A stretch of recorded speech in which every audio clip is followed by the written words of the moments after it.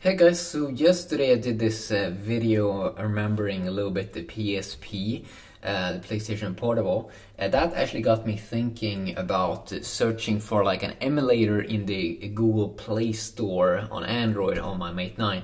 Uh, so I actually found one which was pretty interesting. It's called PSP Gold and I'm pretty sure I'm gonna have a link down below if you wanna check it out for yourself. Now this one is not free. I think there are some other ones also that is free, but I checked this one out, I installed it, and so let's just uh, fire it up here a little bit quick.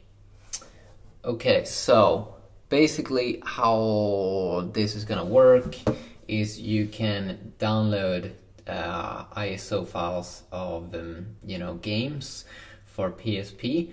So if I just go down here, I downloaded Ridge Racer. So I'm just gonna pop that one up, and I, I just want to check it out here a little bit quick, and uh, yeah, just because that is a little bit interesting, I think. So the funny thing is, when I first started up this game here, I thought this was the game.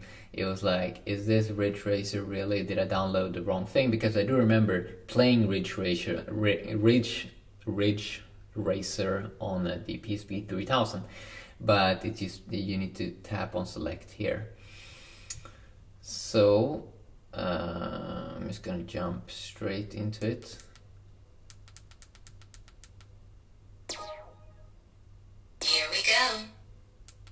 And you'll be able to see pretty quick here just for demonstration how how it runs. So I'm just gonna go to single race. And you'll be able to select the different ones. Let's see what happened there? Please select a core. Please select a machine class. I'm just gonna I'm just gonna go with the default Okay, that looks good. And of course, it's not the PSP wasn't a touch screen, so this doesn't work like that.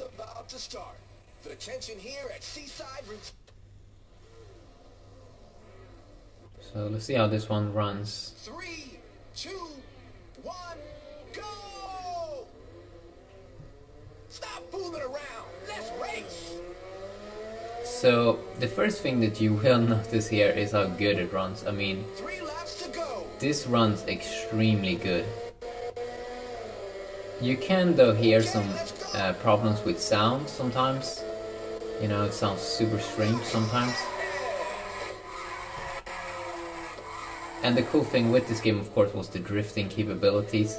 And the good, the nice thing here with like these PSP games is they don't have any annoying in-app purchase or anything like that that you see today in all of the games on phones it's just like it's too spammy. So if you really want that like nice pure experience uh, an emulator is pretty interesting actually. Let's see. And the cool thing with this game I remember was like really like that drifting side to it. And uh, the games for the PSP, uh, it was like 800 megabytes, but then when you download it in a RAR file, then it's like 500 megabytes. But uh, I gotta say, I'm still impressed with how good it looks. I mean, it looks like better, even better than some of the phones these days, I gotta say, in terms of graphics. I mean, it, it really is 2017 standard, I gotta say, on the graphics uh, that Sony uh, already had back then. So we can kind of see that it hasn't really happened that much, I gotta say, to be honest, in in in the um, in the graphics side on phones. I mean, they haven't really innovated that much uh, by by releasing a lot of heavy or cool games. Mostly, what they've been doing is focusing on making money.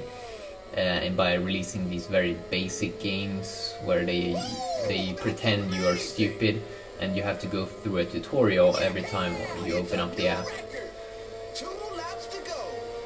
Two more laps to go! yeah.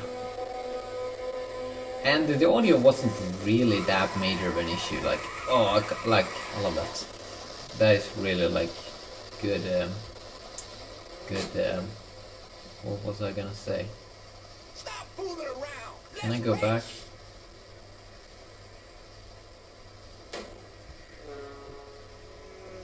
Oh, you got owned. How does this work? I'm not sure how to go back. Turn around. Yeah, but how do I go back?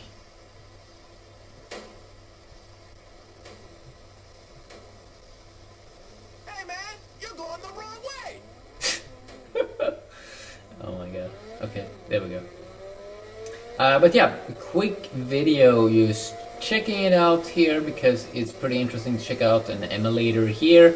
I have in the past checked out like Nintendo 64 emulators and other phones, but fun to check out something on the new Mate 9.